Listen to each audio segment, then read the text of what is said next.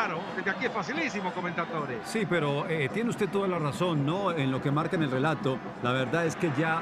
Viene Brian, viene Brian, Brian, Brian al arco.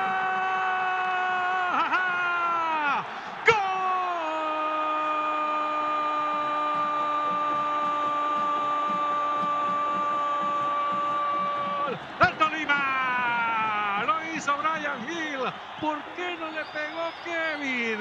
Caminamos sobre 15 minutos de fútbol. Tolima 1, Equidad 0. Brian Hill, la firma del gol.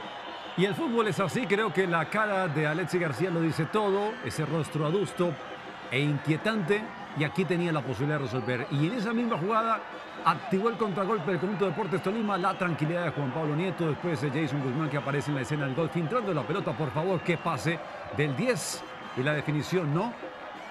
Falta inicial y después aguanta la carga y define con gran categoría entre el central y Washington Ortega para certificar el 1 por 0. Lo gana el conjunto Deportes Tolima, el visitante, con esta gran anotación de Gil frente al conjunto de la Equidad. Y si no terminaba en gol, era penal, porque lo, desestabilizaba. De acuerdo, Carlos, De acuerdo, sí, señor. Bueno, reacciones en el campo de juego. Le pedían a Washington Ortega no salir del arco y más que todo el profesor Alexis está molesto con el árbitro David Espinosa porque siente que ha detenido el partido en momentos donde el equipo va en velocidad, en velocidad por el ataque y no han sido correctos. Felicidad total en el Banco de Deportes Tolima. Brian Hill, 22 años, ya suma 33 partidos por liga con el Deportes Tolima. Este es su sexto. Toma carrera. Elan, Ricardo, al arco.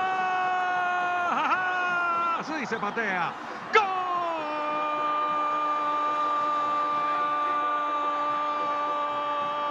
¡Golazo! la equidad. Así se patea un penal. Elan Ricardo pone todo igual. 22 minutos, primer tiempo. Equidad 1, Tolima 1. Así se patea un penal. Elan Ricardo, la firma del gol. Bueno, lo empata rápidamente, mérito especial del conjunto de Equidad. Muy bueno el cobre, indudablemente con categoría, ubicación y fortaleza arriba de Elan Ricardo. Antes de este cobro, le estaba ya contando que evidentemente si fuese a cobrar otra vez Kevin Viveros, lo condicionaba, ¿no? Eh, la tajada inicial más allá del adelantamiento de Neto Volpi.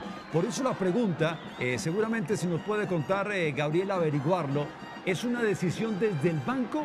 ¿Lo mandó eh, cambiar o transformar el profesor Alexi García?